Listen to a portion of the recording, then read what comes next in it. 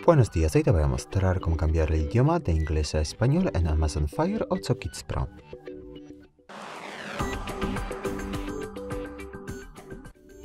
Para eso abrimos la aplicación Settings, este icono, y luego aquí pulsamos esta opción uh, Device Options, opciones del dis de dispositivo.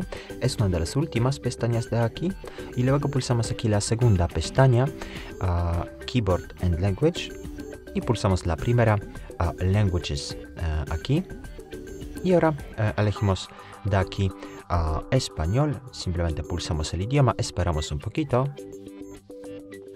Y bueno, si salimos de aquí puedes ver, bueno, que el idioma del sistema ya está cambiado. Muchas gracias por ver el vídeo, te invito a comentar abajo y suscribirte al canal. Hasta luego.